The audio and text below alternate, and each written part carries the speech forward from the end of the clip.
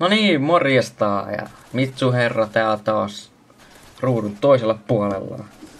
No niin, ja sitten taas taustalla pyöriä kuin Infected matsi. Ja ei siitä se enempää, mutta puhuisin nyt vähän kaikesta. Eli aloitetaan tästä Asutaan puussa. Siinä on nyt käynyt silleen, että aika moni sitä lisää, mutta kun tuli tää uusi Minecraft, niin se tilttasi silleen, että sit koko mapista tuli pelkkä flatti. Mä en ymmärrä, miksi se tuli.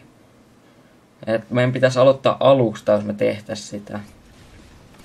Niin laittakaa kommentti, että aloitetaanko me joku uusi sarja, siinä Survival Life tai Skyblock tai joku vastaava tämän tilasta, vai aloitetaanko vähän alusta asutaan puu. Niin sitten Facebook-asioihin. 25 tykkääjää on meillä siellä. Ja jos vielä viisi tulee, niin me järjestetään jotain kivaa. Joku yllätys teille. Sitten sama juttu, kun on 300 tilaajaa kohta täynnä. Me pistetään servu auki. Me pistetään joku video siitä, että IP ja näin. Sillä. Ja pääsee todennäköisesti kräkätytkin akkoon tilaa. Jos kukaan ei tiedä, mikä se on, niin ihan sama. Eikö alkaa selittää sitten enempää? Sitten videoista.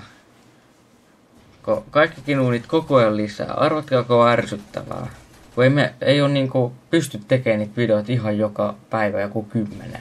Niin kuin nämä yhdet haluu. Me tehdään niitä aina yleensä viikonloppuisin, jos pystytään. Ja ei sekään ole aina mahdollista, että me pystytään tekemään niitä viikonloppuisin. Jos on jotain muut menoa tai jotain. No niin, mitäs vielä tässä olisi nyt asiaa? Tätä, tätä. Sitten, joo, en mä tiedä. Toi Nasse on tehnyt ton, mikä hitto tää on. Ha- Minecraft Hardcore osa kutosen ja se tulee todennäköisesti tämän videon jälkeen. Ja eikö se olisi nyt tästä morjens? Tää gameplay loppuu kohta. En mä tiedä. Kun itse pyörittäisi taustalla, niin vähän vaikea kertoa. Mut kattokaa se loppuu, se jatkuu. Morjens.